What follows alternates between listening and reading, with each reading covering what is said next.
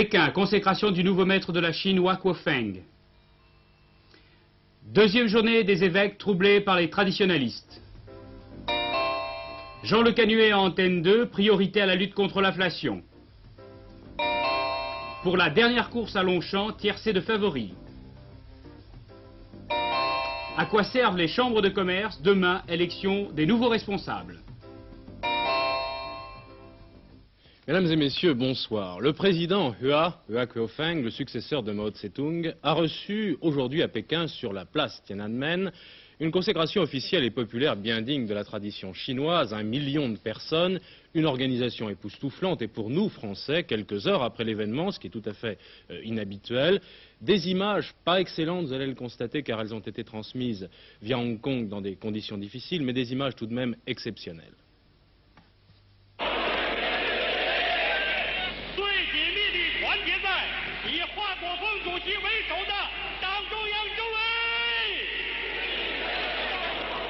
Il y a eu Mao Tse-tung, devenu Mao. Aujourd'hui, il y a Hua Kuofeng. Déjà, on l'appelle Hua.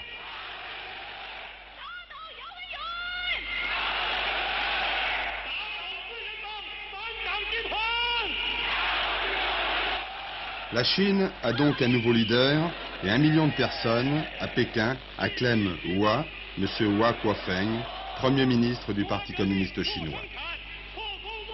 Première apparition en public du président pour une manifestation de 80 minutes. Le groupe des quatre, dont la veuve de Mao, a été condamné. Et, revêtu de l'uniforme de l'armée chinoise, comme Mao, Hua Kuofeng, comme Mao, saluait la foule.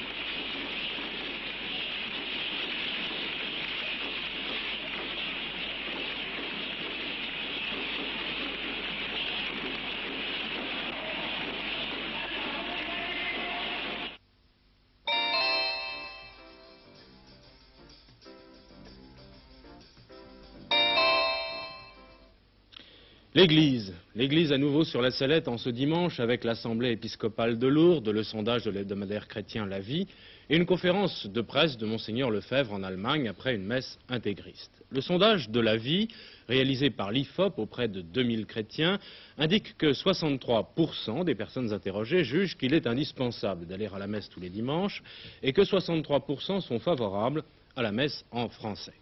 Pas de commentaire à Lourdes sur ces chiffres, mais une vive réaction des intégristes, c'est-à-dire des partisans de Monseigneur Lefebvre à l'Assemblée plénière des évêques de France. Dans cet endroit, voué à la prière, au pèlerinage et aux méditations de l'épiscopat français, on a vu aujourd'hui des manifestations d'hostilité tout près de la grotte de Bernadette Soubirous. L'offensive intégriste bat son plein en ce moment dans les rues de Lourdes. On distribue un peu partout des revues et des tracts qui mettent en cause les orientations de l'épiscopat français, non seulement en matière religieuse, mais aussi euh, sur le plan politique. On accuse les évêques de faciliter l'arrivée du communisme en France. On les accuse aussi de se taire sur les grands problèmes du moment, avortement, évolution des mœurs, etc. Une délégation a même fait un peu de forcing tout à l'heure pour être reçue par l'Assemblée plénière. Vous êtes parmi ceux qui, je crois, orientaient beaucoup nos pères évêques. Alors voilà le premier Je ne document. reçois pas les injures. mais- Très bien. Alors, messieurs, le père Fillier ne reçoit pas les injures. Je tiens à dire qu'il n'y a là-dedans aucune injure. Il y a seulement un document qui n'est absolument pas un document de supplique. Nous n'avons rien à demander. Si nous avions quelque chose à demander, nous ne serions pas à qui le demander. Donc nous avons tout simplement voulu faire un texte que nous remettons aujourd'hui solennellement à nos évêques, qu'ils le prennent ou qu'ils ne le prennent pas, nous importe peu. Mais dans ce texte, nous disons que de la résistance, nous sommes passés à l'offensive. Les évêques ne semblent pas prendre trop au tragique cette campagne contre eux, ou plus exactement euh, contre l'Église du Concile. Ils travaillent euh, porte fermée après avoir célébré en fin de matinée une messe solennelle. Néanmoins, en se réunissant aujourd'hui, beaucoup d'entre eux ne pourront s'empêcher de penser qu'une autre messe interdite, celle-là, était célébrée ce matin en Allemagne par Monseigneur Lefebvre. Plusieurs centaines de personnes y assistaient autour du prélat intégriste. C'est dire que de gré ou de force, Mons- Monseigneur Lefebvre est bel et bien présent ici à Lourdes en cette assemblée plénière 1976.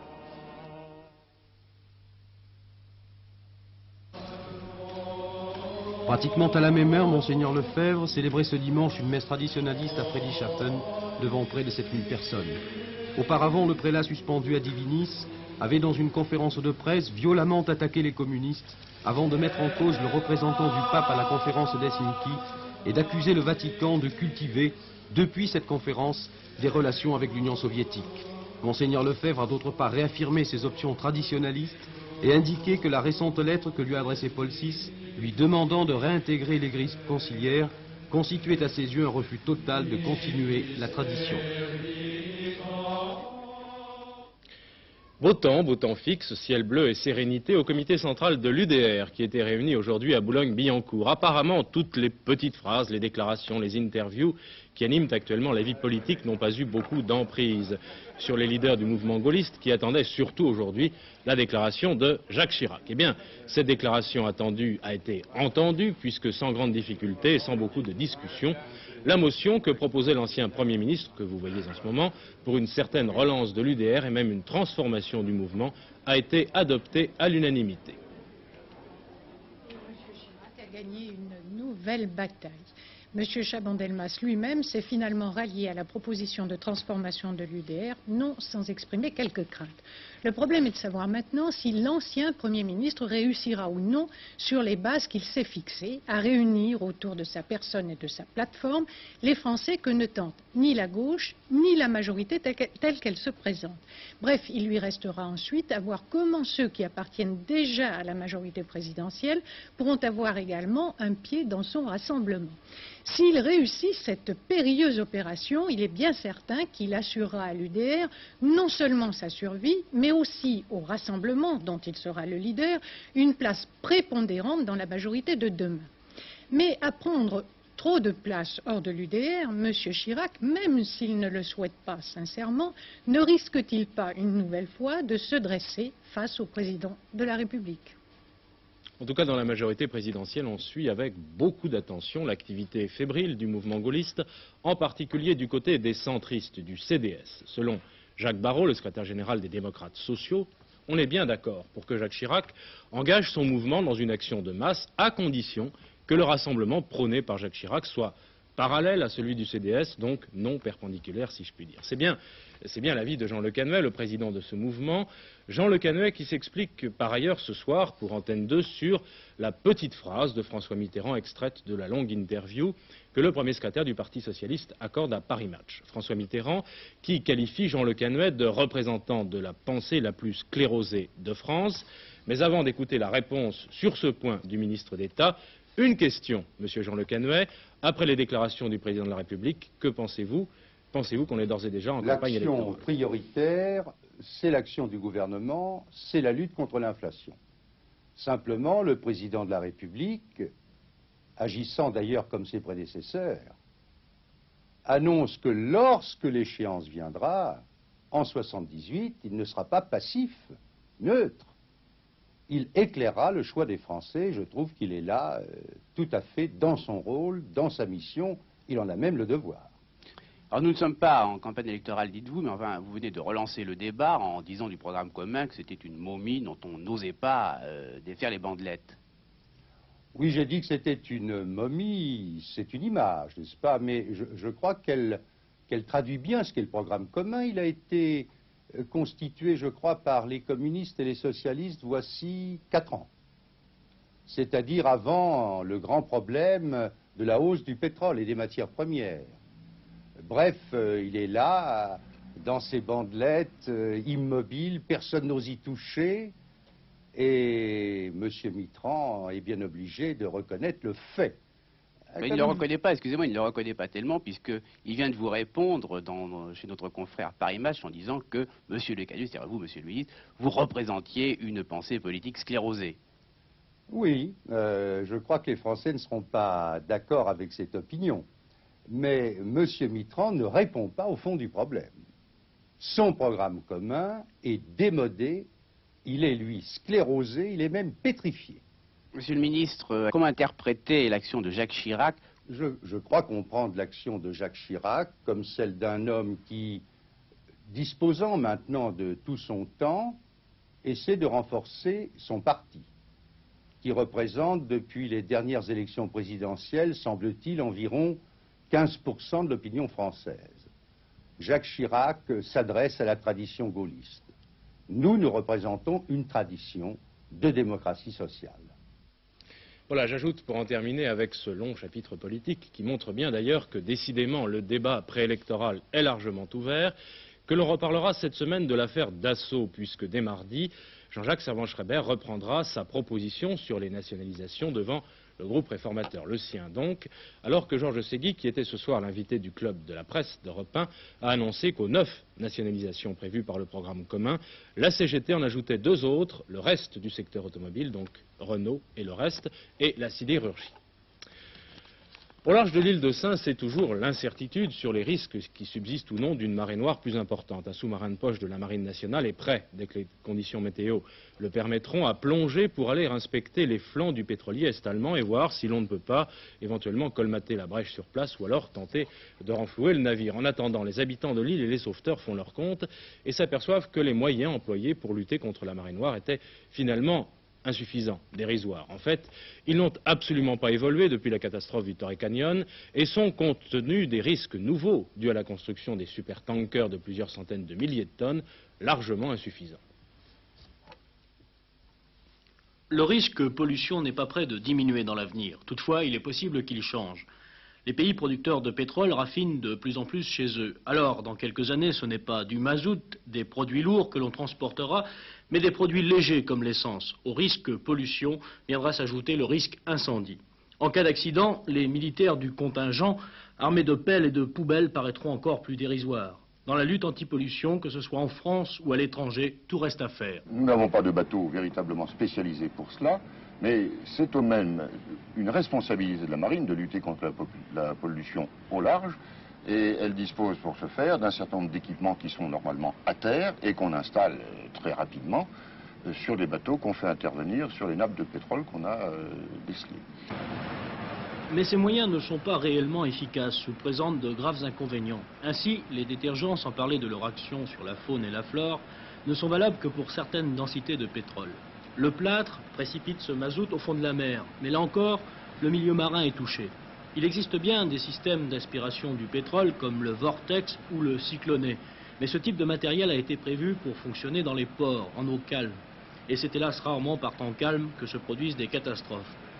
Il y a enfin des barrages flottants pour protéger des endroits très localisés, mais là aussi l'état de la mer, les vents et les courants peuvent les rendre inutilisables.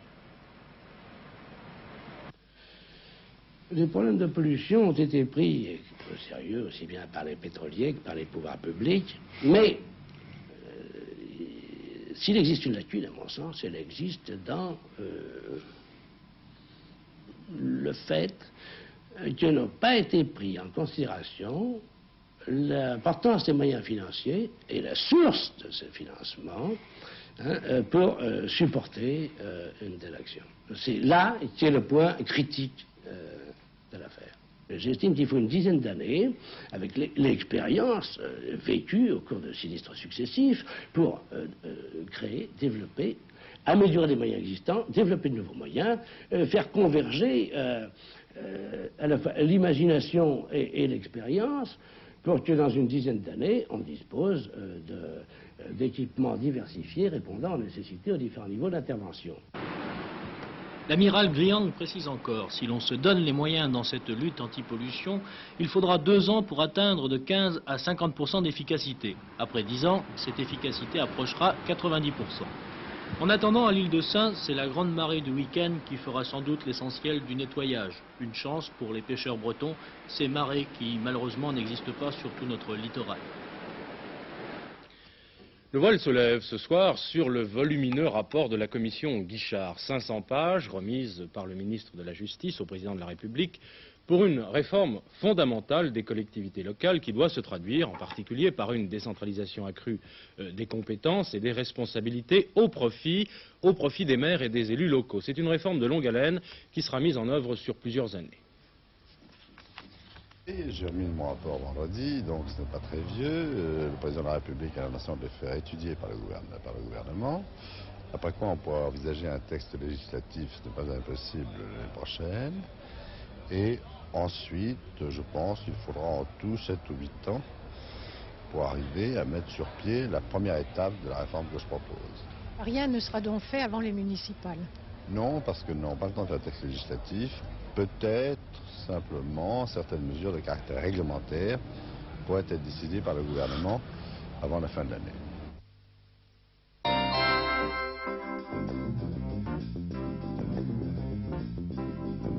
Demain au Caire s'ouvre le sommet arabe qui doit concrétiser l'accord de cessez-le-feu signé à Riyad la semaine dernière entre les Syriens les Palestiniens à la gauche et la droite libanaise. M. Mahmoud Riyad, le secrétaire général de la Ligue arabe, s'entretient avec le général égyptien chargé du respect du cessez-le-feu. Sur le terrain, toujours des victimes, malgré l'accalmie, des échanges sporadiques ont toujours lieu entre phalangistes et palestiniens dans le sud du pays, à la frontière avec Israël. Nous venons à Genève pour mettre sur pied un gouvernement de transition et non pour élaborer un règlement pacifique. C'est ce qu'a déclaré à son arrivée à Genève le leader africain en lutte contre la Rhodésie de M. Jan Smith. Les délégués africains ont également affirmé que la guérilla se poursuivrait en Rhodésie tant que le pouvoir ne sera pas totalement transféré à la majorité noire.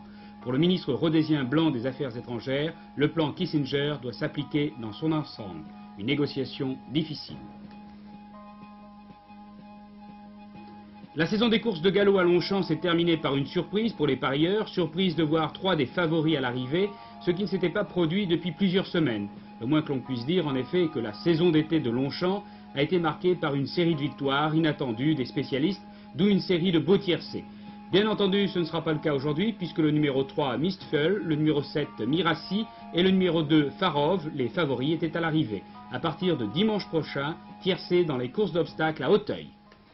Oui, mais avant le départ du tiercé, les jockeys, les entraîneurs et le public avaient observé une minute de silence à la mémoire de Daniel Merle. Les médecins n'ont pu sauver le jockey gravement blessé vendredi sur l'hippodrome d'Anguin au cours d'une chute dans la rivière des Tribunes. Daniel Merle avait 29 ans, il était très connu du public, très aimé en particulier depuis sa victoire dans la grande course de haie d'Auteuil au mois de juin dernier.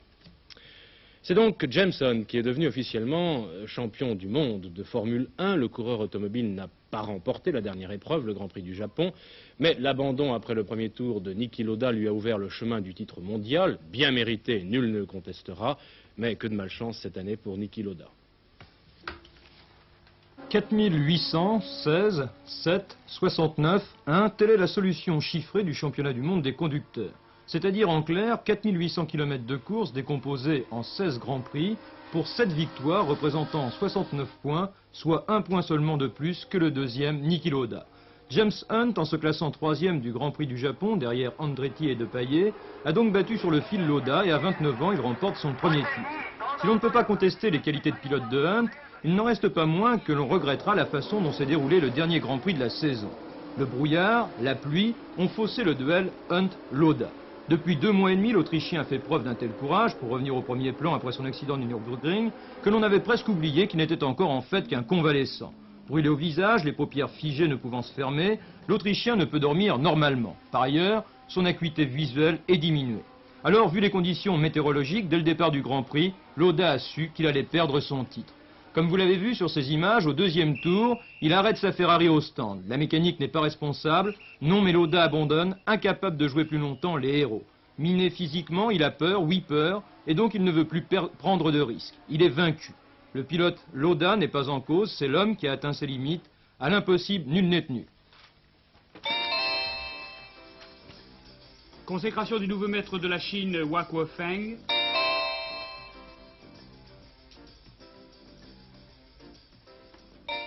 Toute petite erreur avant de voir les titres, euh, de revoir les titres plus exactement de l'actualité. Il y a un dossier dans ce journal, les élections consulaires. Cela ne vous dit peut-être pas grand-chose, pourtant dès demain, 1 500 000 entreprises vont élire leurs représentants aux chambres de commerce et d'industrie, c'est-à-dire 2230 exactement véritables députés du commerce et de l'industrie. Il s'agit euh, du renouvellement de la moitié des sièges des chambres de commerce, dont le rôle n'est pas toujours lui non plus très connu du grand public. C'est pourquoi nous avons voulu ce soir vous montrer l'activité de l'une des plus importantes chambres de commerce et d'industrie de France, celle de Marseille, son activité et son rôle très important dans l'économie régionale.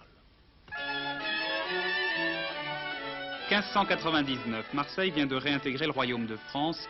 Pour développer l'économie de la ville et du port, Henri IV approuve la création de quatre députés du commerce. C'est la première modalité de la Chambre de commerce de Marseille. 1976, la Chambre de commerce et d'industrie gère aujourd'hui un budget de 150 millions de francs. L'aéroport de Marignane, le deuxième de France par le nombre des passagers, est l'une de ses activités. Chargée de représenter les industriels, les commerçants et les prestataires de services auprès des pouvoirs publics, elle doit aussi aider l'économie régionale. Cette zone industrielle à Vitrolles en est un autre exemple. Ainsi, la Chambre de commerce n'est plus une aimable assemblée de notables, elle est devenue, avec la municipalité et le port autonome, l'un des trois principaux pouvoirs économiques de la région. C'est un pouvoir important, mais que je situe dans l'union avec les élus politiques. Car si nous voulons faire quelque chose d'efficace, il faut travailler en parfaite union. Je ne vois pas comment nous pourrions faire autrement. Donc c'est une affaire d'hommes. Un pouvoir économique, mais c'est aussi finalement un pouvoir politique? Je ne le pense pas, parce que politique économique, si vous le voulez, mais politique au sens où vous l'entendez, certainement pas. Nos motivations ne sont pas les mêmes. C'est pourquoi nous nous complétons parfaitement bien avec les élus politiques. C'est dans le domaine de la formation que la Chambre apporte sans doute les services les plus concrets. Bon, on va se mettre en haut, hein, vous allez prendre un thermique, hein, et il n'y aura plus qu'à me suivre pour la coupe. Ok. Ok Exemple, cette école de plongée unique au monde qui forme 200 plongeurs en eau profonde chaque année. Mais des exemples, il y en a d'autres, car plus de 50% du budget de la Chambre est consacré à cette formation. Il y a ainsi l'enseignement technique supérieur, avec les écoles d'ingénieurs, de commerce et de chimie. Et puis, il y a la maison de la formation continue. Si je vous propose la méthode suivante, méthode classique, qui, quoi, où, quand, comment, combien, et à chaque séquence, pourquoi Là, par exemple, 4500 commerçants ou travailleurs de l'industrie sont venus l'année dernière utiliser les méthodes les plus modernes pour se recycler ou se perfectionner. Et pourtant, toutes ces possibilités qu'offre la Chambre de commerce sont souvent mal connues, même des commerçants. Je travaille pas mal avec eux et du point de vue formation euh, vendeuse, étalagiste, euh, on accueille aussi des stagiaires de leur formation continue. Mais c'est vraiment à peu près tout le service de la Chambre de commerce que je connais. Est-ce que vous êtes au courant des activités de la Chambre de commerce et d'industrie de Marseille? Non. Vous ne savez pas ce que, ce que fait la Chambre de commerce? Grosso modo, oui, mais enfin, je sais qu'elle a un rôle euh, économique euh, de la ville de Marseille, pour la ville de Marseille, mais à part ça, c'est tout ce que je sais. Vous avez été en contact avec eux déjà Jamais. Euh, ils ont cherché à vous contacter Jamais. Je pense que elle doit surtout s'occuper de côté industriel parce que c'est en somme le moteur de, de toute l'activité. Qui profite le plus des services proposés Les industriels ou les commerçants? C'est une vieille querelle que connaissent toutes les chambres en France. À Marseille, on se défend en tout cas de privilégier l'un ou l'autre. Nous apportons par nos assistants techniques au commerce une aide aux commerçants et ensuite par nos assistants techniques à l'industrie notre aide aux industriels. Mais il faut reconnaître qu'il y a des programmes communs. Par conséquent, il n'y a aucune différence. L'assistance peut changer de nature parfois, mais le niveau est le même. Parce que les intérêts d'un petit commerçant et d'un gros industriel sont quand même très différents. Ils sont différents, mais il y a des points communs, ne serait-ce que dans la gestion. Et le service que nous apportons tient compte de ces différences. Industriels, commerçants, prestataires de services participent tous au financement des chambres par la taxe professionnelle. Et ils participent au fonctionnement à travers les délégués qu'ils élisent. Lundi, à Marseille comme ailleurs, leur bulletin de vote indiquera l'orientation qu'ils souhaitent donner à toutes ces activités. Il n'a pas fait très très beau aujourd'hui sur la majeure partie de la France, excepté à Marseille et sur le sud-est. Demain, sur la moitié, sud, pardon, le temps sera couvert avec des pluies orageuses et souvent abondantes sur les Cévennes et les Alpes. Il y aura de la neige à partir de 1500 mètres dans les Pyrénées et de 2000 mètres dans les Alpes. Et puis, la météo prévoit des vents de sud-est sur la Corse et la côte d'Azur et de nord-ouest sur le golfe du Lion et le golfe de Gascogne. Dans le nord de la France, le temps sera variable avec des éclaircies mais aussi quelques averses, en particulier euh, de la Manche au nord du Massif central. Avec toute la rédaction d'Antenne 2, je vous remercie d'avoir suivi ce journal. Bonsoir, vous avez rendez-vous avec Mort Schumann dans un instant, mais d'abord, le rappel des principaux titres de l'actualité, c'est maintenant.